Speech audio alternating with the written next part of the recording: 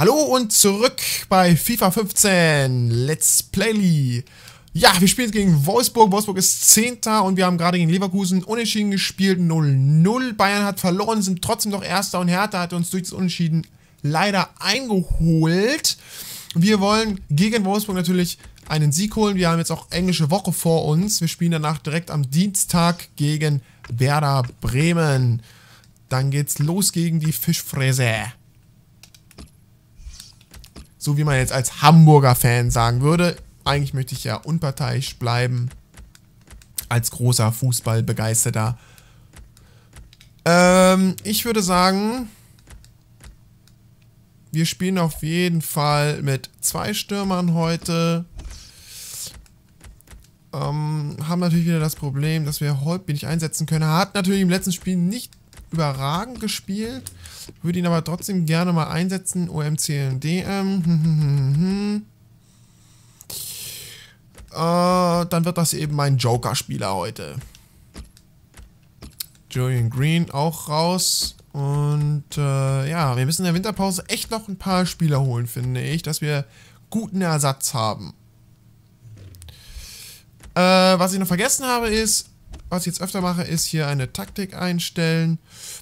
Und ähm, dann machen wir gleich mal einen hohen Druck, finde ich. Gleich mal Wolfsburg ein bisschen ärgern.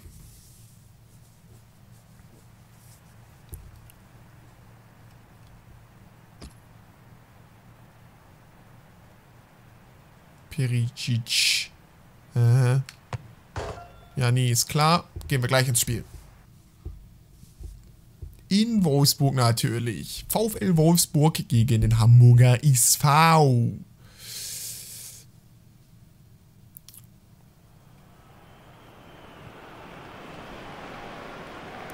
So, wir müssen auch mal was überlegen. Ich habe mir jetzt auch überlegt, ob ich mal Podolski demnächst mal in den Sturm setze und links einfach mal Cilic wieder spielen lasse, weil Podolski kommt irgendwie nicht ganz durch auf der linken Seite, so wie ich mir das eigentlich wünsche. Er hatte ein gutes Spiel, ich bin mir nicht ganz sicher, ich glaube es war gegen Paderborn oder so überragend gut war, aber sonst nur nicht so auffallen. Jetzt die Aufstellung von Wolfsburg. Olic vorne, De Bruyne, Verinja, Pericic, Luis Gustavo, Dresch. Mhm, mhm, mhm. Also so, wie man es eigentlich kennt.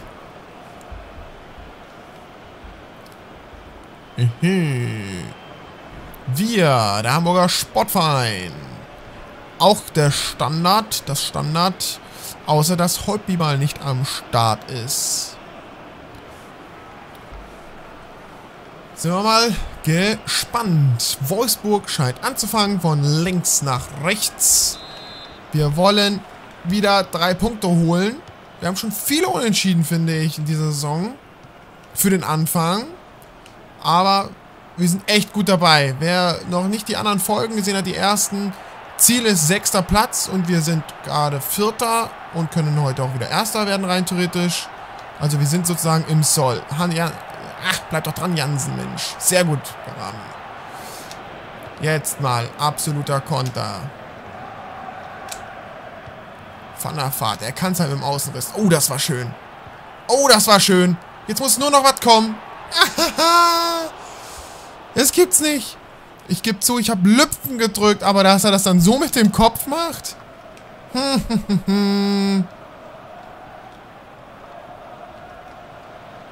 Das hätte ich nicht gedacht.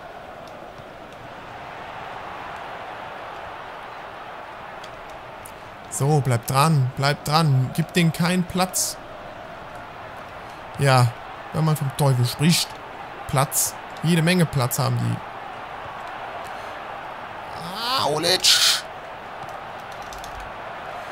Sehr gut.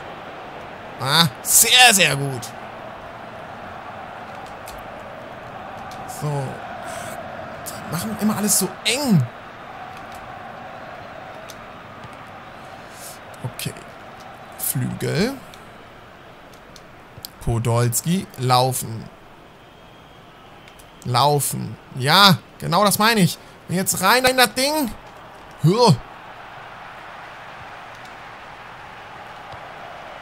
Wenn ich eins nicht mag, ist es, wenn der Controller manchmal nicht reagiert. Ich hatte dreimal gedrückt, dass ein flacher, schnelle Flanke reinkommt. Aber ich glaube, das war nur zweimal gedrückt gerade. Zumindest hat er das so empfunden, das Spiel. So, jetzt aber. Das ist ein ganz anderes Spielgefühl, finde ich, als gegen Leverkusen. Nur, dass nicht mehr passiert. Genauso wenig vielleicht. Jetzt Rutnefs. Ach, wenn er doch weitergelaufen wäre. Ich glaube, es war Berami. Der Blonde. Oha! Nicer Pass. Und Adler, den ich rausgeholt habe. Sehr schön. So muss das sein. Ich würde sagen, beste Chance im Spiel. Das nach 30 Minuten.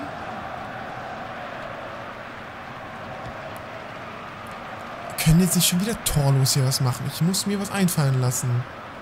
Mensch, Dickmeier, das war aber knapp.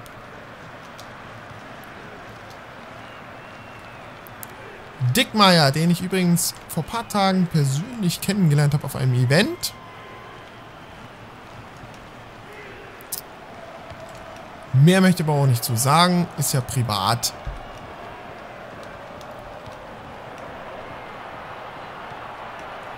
So. Ah. Okay.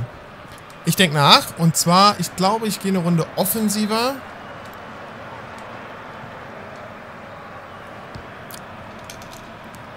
Oh. Zweite gute Chance Wolfsburg. Hamburg 0, würde ich sagen. Das gefällt mir gar nicht.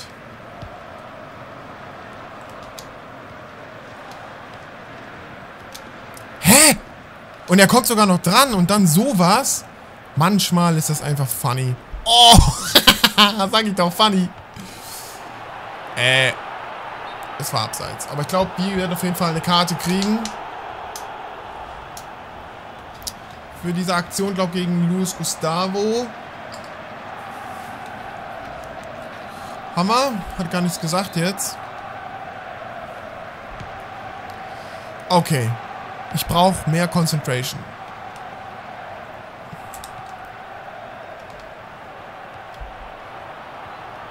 Auf jeden Fall nicht so offensiv mit den Abwehrspielern gehen und vielleicht mal ein Pass heil ankommen lassen. Dann wird es vielleicht was. Ah. Wow! Komm weg damit! Meine Herren! Jetzt hat Wolfsburg die bessere Taktik am Start und wir kontern eher mehr. Müller, Mann, der ist aber schnell. Jetzt habe ich ein Problem. Wer läuft mit? Was mache ich? Auch wenn keiner mich deckt, dann mache ich das Tor. ja, wenn keiner mich fault oder rangeht, dann mache ich eben das Tor. Schön vom Müller.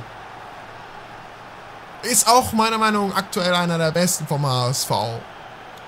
Mit Holtby zusammen. Das war ja mal, mal eine ganz andere Art von Tor, finde ich. Und ich glaube noch durchtunnelt. Das heißt, Benjajo darf erstmal im Training 30 Liegestützen machen. So war das bei uns immer früher im Fußballverein, wenn wir durchtunnelt wurden. Erstmal 30 Liegestützen. Sehr schön. Also das Tore schießen doch nicht verlernt. Echt nice.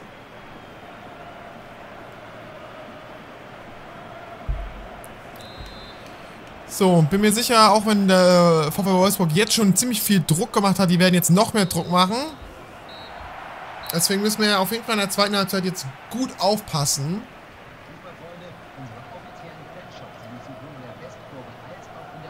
Wir auf jeden Fall keinen Mist bauen. Gucken wir mal. Die Bayern 0-0 gegen einer Frankfurt. Das ist ja schon mal gut für uns.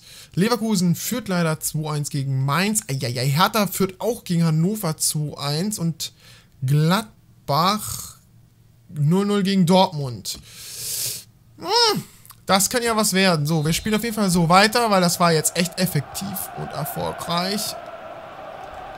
Wichtig ist, dass wir vielleicht mehr den Ball in den eigenen Reihen halten, ein bisschen Ruhe.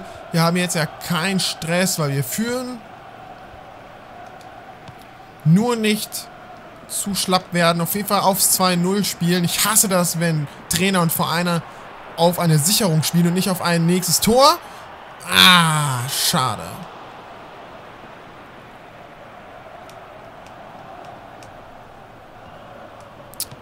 Ah, Mensch, Rutnes. Das war eine gute Aktion, aber muss Ball schon behalten.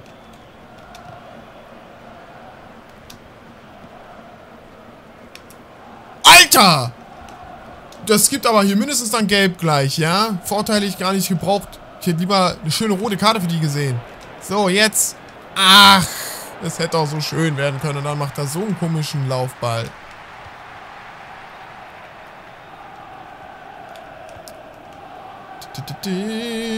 Hulic. Jetzt aufpassen. Und gut, dass er schießt. Tja, das ist eben der KI, würde ich sagen. Weil, hätte er ein bisschen schlauer gedacht, wäre er weitergerannt. Ich hätte ihn nicht mehr gekriegt, glaube ich, mit Barami. Weil er nicht mehr so schnell war. Natürlich kriegt jetzt Olic gelb für das gerade, für das Foul. Hallo? Geht's noch? Klingelingeling? Ist für mich schon fast rottauglich. Also es gibt bestimmt echt Schiris, die das äh, rot bewertet hätten. Von hinten rein in die Hacke. Schon hart.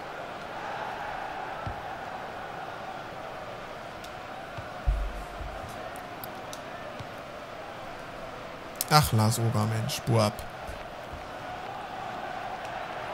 Oh, Westermann! Nicht aufpassen. So, ich werde jetzt auch mal, ich glaube, Lasoga rausnehmen. Irgendwie, der gefällt mir heute gar nicht. Podolski nach vorne und Icidovic rein. So. Haben wir noch einen schnellen vorne. Wir haben ja gerade schon gesehen, oh, nächstes Spiel Schalke gegen Wolfsburg. Nicht für uns wichtig, aber schon mal interessant zu wissen, dass am, der in der englischen Woche ein Topspieler ist. Oh, Aaron Hunt kommt. Aber Wolfsburg hat auch echt einen verdammt guten Kader. Müssten eigentlich auch effektiv sein und noch ein bisschen besser stehen in der Liga. Die sind, glaube ich, 10. wenn ich mich jetzt recht wieder erinnere, was wir uns vorhin angesehen haben. Aber noch heißt das gar nichts. Jetzt kommt diese heiße Phase, wo der Gegner immer so viel Druck macht. Halt ihn! Oh, Adler, du bist genial. Sehr schön. Und jetzt der Konter. Da ist, glaube ich, Podolski. Der ist schnell. Jetzt muss er es nur noch machen. Komm schon, Podolski. Ja! Absolut richtige Entscheidung von mir. Ja, er will was hören. Ich liebe es, wenn Taktiken oder Entscheidungen aufgehen.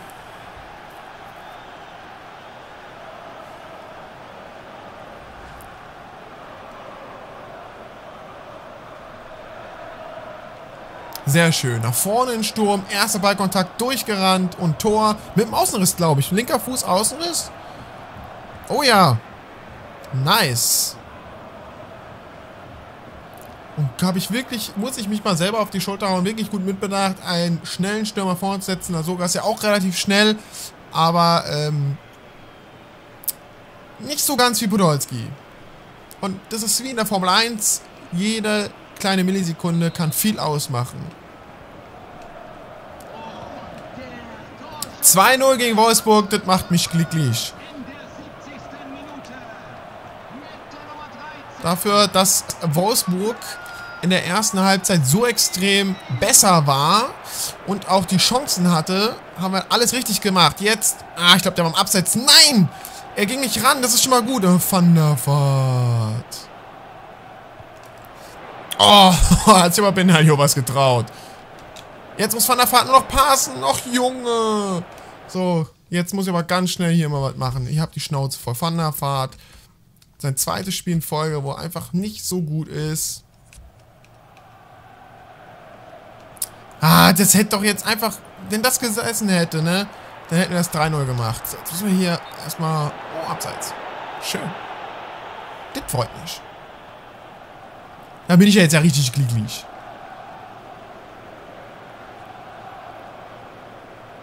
Ja, und wie? So, jetzt Holtby. Jetzt hört mal auf, hier den auszupulen. Geht aber gar nicht. Äh, machen wir da hinten hin. Dickmeier. Ja. Jetzt muss er nur noch kriegen. Ja, Naldo, der ist natürlich groß. Rami, ach, der macht immer echt gut Defensivarbeit. Ich darf nicht immer so viel meine Spieler loben. Meistens sind sie danach nämlich immer schlecht. Gar nicht gut.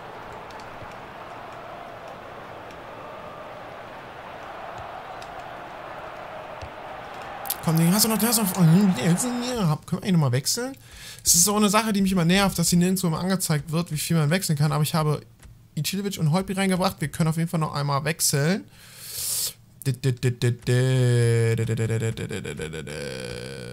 Um defensiv abzusichern, nehmen wir jetzt mal Ami raus. So. Auch wenn er ein gutes Spiel gemacht hat, aber er war schon müde. Oh, Benaglio jetzt schon vorne. Dabei haben wir erst die 86. Minute. Dann kontern wir doch jetzt mal. Das wäre mal richtig nice. Man kann leider von hier aus noch nicht schießen. Ach, schade. Das ist auch schon schwach. Den haben wir doch eingewechselt. Den haben wir nicht. So, jetzt aber. Ah, genau das meine ich. Das funktioniert einfach nicht. Von da aus. Ist schon ewig her, dass ich mal ein Tor vom Mittelfeld ausgemacht habe. Ich glaube, um mich jetzt mal kurz zu outen hier bei EA, das war noch mit Pro Evolution Soccer, weil ich habe früher zwischen 2005 und äh, 2011 war ich noch Pro Evolution Soccer Zocker. Guter Satz. Aber für mich haben die einfach so extrem nachgelassen, dass ich jetzt seit dem 12 FIFA 12er einfach richtig Fan von FIFA geworden bin. Und wir haben gewonnen. Das ist schon mal das Schöne. Podolski macht mal wieder ein Tor. Das freut mich sehr. Müllers Tor war natürlich der Oberhammer. Das hat mir richtig Spaß gemacht. Und wir schauen uns die Tabelle an. Wolfsburg hat wirklich mehr Ballbesitz gehabt. Gibt's ja nicht. Mensch, Mensch, Mensch. Schussgenauigkeit 100%. So muss das aussehen, Leute. So, äh, äh, äh, Bayern hat Unschieden gespielt, Dortmund auch. Wie geil ist das denn? Und Hertha ist Tabellenführer, das gibt's doch nicht. Herr Oberhammer. Wir sind, bleiben trotzdem noch Vierter, trotz des Sieges. Und ähm, Leverkusen hat Bayern eingeholt, trotz Unentschieden, wie es aussieht. Ne, die haben auch gewonnen. Mhm. Okay. Und jetzt geht's in die englische Woche.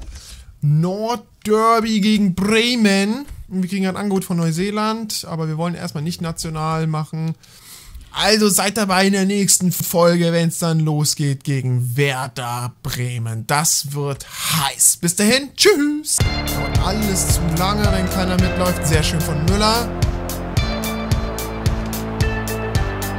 Und Lassoga. Pfosten! Oh, das gibt's doch nicht! Und er pfeift! Die Blamage ist klar gegen den Pfosten. Ay caramba!